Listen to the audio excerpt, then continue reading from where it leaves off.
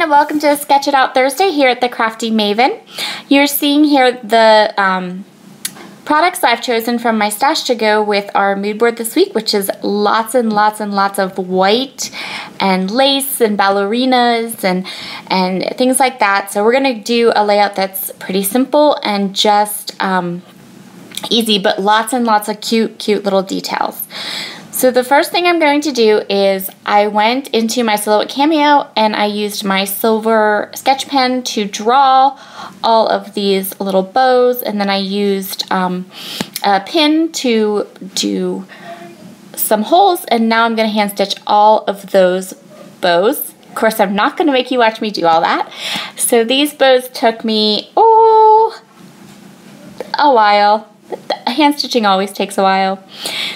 So what I'm going to do is, if you saw my sketch at the beginning of this video, you know that it's really simple. So since there was so little, um, so little um, color in the mood board, I wanted to keep things pretty simple. So the only real color that I'm going to add to this layout is going to be um, a little bit of inking from Peacock Feathers Distressed Ink and this little bit of aqua color from this Paige Evans paper. I'm not quite sure which one of her collections it's from. I want to say it's Take Me Away, um, but I might be wrong on that.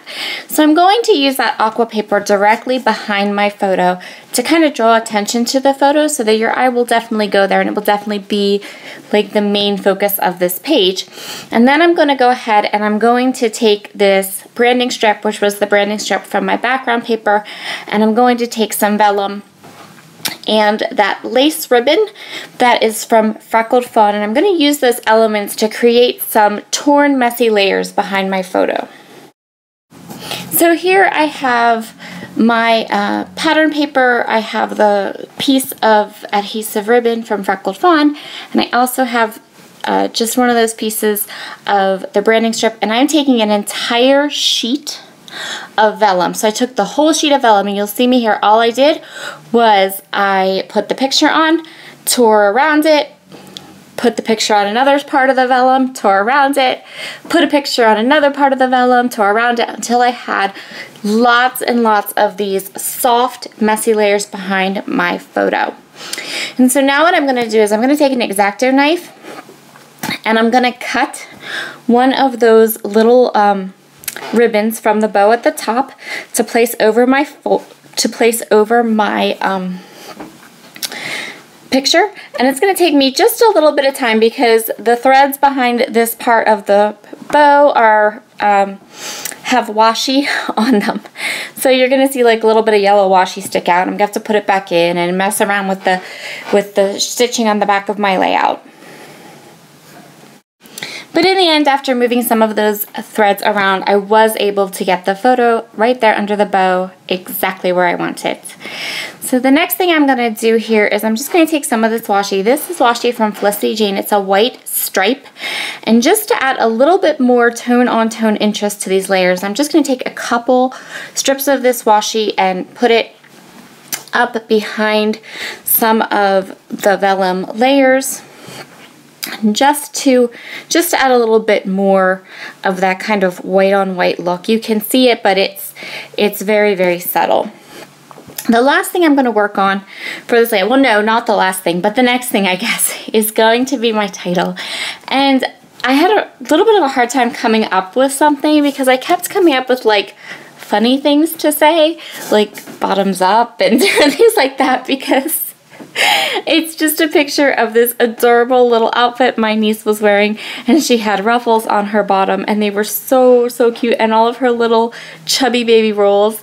So ultimately my title is going to be ruffle bottom and I'm going to use these thick and thin white foam letters from Amy Tangerine, which I absolutely love. Oh, I love them, but I'm almost out of them. So you'll see me kind of like piece together an L and an E to finish my title. And then I'm going to take some um, October Afternoon uh, tile letters and I'm going to use that to create my title. So after fidgeting with these letters for what seemed like forever, uh, I finally got them so you could read what it said and it was coherent. And the next thing I'm going to do is I really, really want some white splatters on this layout. Um, but when it comes to white splatters, I only know of one good way to get them. And that is to get Liquitex Heavy Body Acrylic Paint, water it down, and then use that to splatter with. Um, I do not have any success. I have not, now I haven't tried every white mist or spray ink that's on the market. Um, but the ones I have tried, they just want to soak in. They don't sit on top of the paper and you can't even see them. So that happens to me quite a bit. I've tried quite a number of different um, inks and oh I should have covered my photo but it was okay it came right off and then I remembered oh yeah better cover the photo uh, so this is how I do white splatters. Um, my latest one that I tried was the Dylusions, and it was in a video, actually not coming up maybe. Um, but it, it, does the same thing. It just kind of soaks in. So I don't know. The only sad part about these white splatters with the white acrylic paint is that the white paint goes everywhere. I had it on my forehead. I had it on my eyelid. I had it on my nose. it goes everywhere. But it creates these lovely, lovely white splatters, which I really do love. And as a last little bit of sparkle to this layout, I pulled out my Close to My Heart Bitty Sparkles. And I'm just to go ahead and I'm going to place them all over this layout. I love these. They just add just this littlest bit of sparkle to a layout. And there we have our layout for today's Sketch It Out Thursday with the beautiful hand-stitched bows and all of the little um, sparkles and layers. I love the layers on this layout and I love the bows.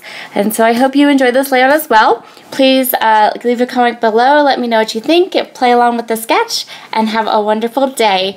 Bye!